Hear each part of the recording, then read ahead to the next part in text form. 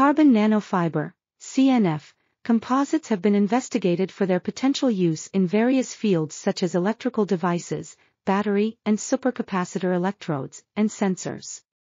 The electrical conductivity of CNF composites is crucial and depends on the dispersion and percolation status of CNFs in matrix materials.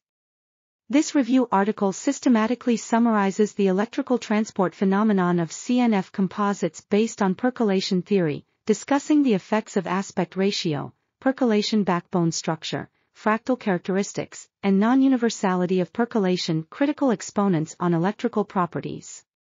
Additionally, thermal conductivity and mechanical properties of CNF composites are briefly reviewed, along with preparation methods of CNFs and CNF composites, and their applications as sensors and electrode materials.